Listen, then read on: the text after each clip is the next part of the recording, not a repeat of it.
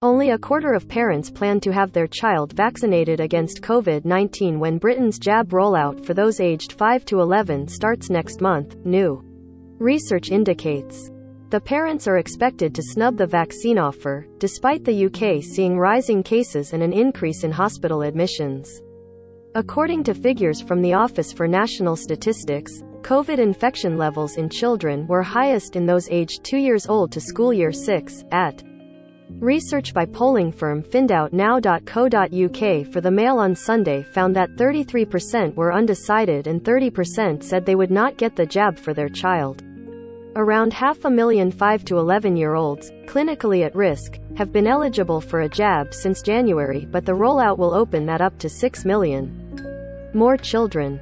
The rollout will open that up to 6 million more children. Image Getty Images. Responding to the findings, GP and author Dr. Philippa Kaye said, I would strongly encourage parents to get their children vaccinated. People are thinking about the risk of COVID, which thankfully is very mild in young children, but children are getting long COVID, which is a real concern. Most commonly, that manifests itself as fatigue, but there are other symptoms too. We should not risk children missing more school because they are unwell.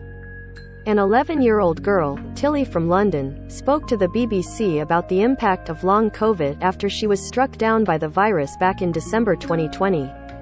Leaving her in hospital for weeks and plunging in weight. Talking about her health now, Tilly from London said she feels sick all the time, has belly aches, leg aches, headaches and pain in my eyes.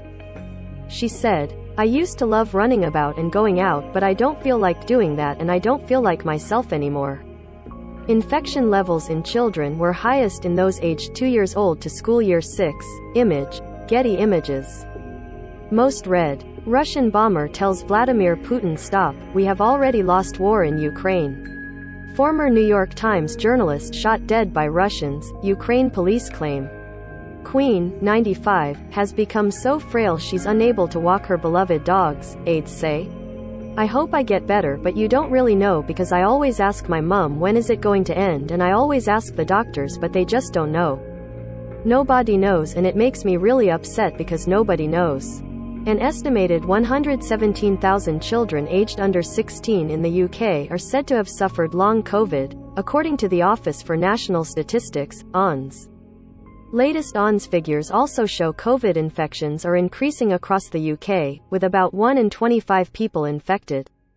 The hardest hit currently are those in Scotland, where 300,000 people, 1 in 18 have coronavirus, the highest level recorded during the pandemic. The most common strain in the UK is thought to be a sub-variant of Omicron, called BA.2. Some scientists have blamed it on the increased transmissibility of this variant, the recent government easing of restrictions including the legal requirement to self-isolate and the waning immunity from the vaccines could. Health Secretary Sajid Javid announced last month that immunocompromised people, care home residents and anyone aged at least 75 would be offered a fourth dose of a vaccine in April. But experts have been calling this to be extended. Millions are enduring lockdowns again in China, where the virus started after the country sees the worst outbreak in two years. Read more. Fourth COVID vaccine dose rollout under review as cases surge across UK. Read more. England's COVID R number rises as cases increase with 1 in 25 people infected.